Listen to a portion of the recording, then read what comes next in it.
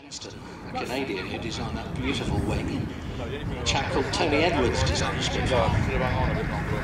ours wasn't This aircraft you could say was designed by.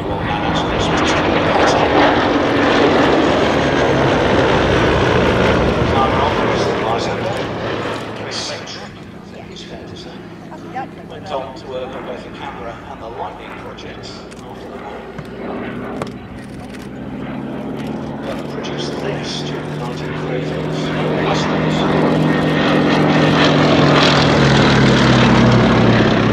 actually a much more aerodynamically advanced design than a lot of people uh, think. That very unusual wing shape, designed to give both high and low speed efficiency, and also the cutout of the wing root means that the pilot's cockpit has unrivaled visibility. You can almost see straight down, you can almost see straight up, you can look over your shoulder, which for a communications aircraft of this nature was something quite outstanding.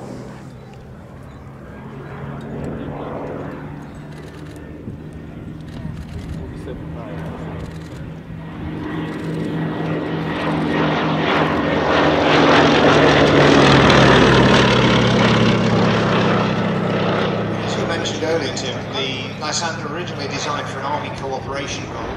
Um, after uh, the uh, retreat from uh, Dunkirk, was very much used by the Royal Air Force uh, for looking out for people who had ditched in the North Sea and the English Channel in search of rescue roles, sometimes even carrying a lifeboat underneath the